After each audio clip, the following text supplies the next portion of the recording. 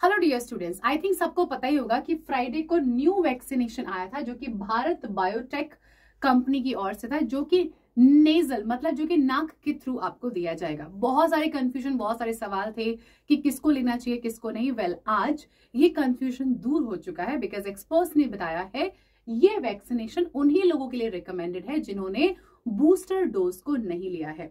ये नई कोविड की जो वैक्सीनेशन है nasal vaccination it is only for recommended as a booster dose मतलब जिन्होंने बूस्टर डोज वैक्सीनेशन इससे पहले नहीं लिया है। हमारे साथ जुड़े रहिए।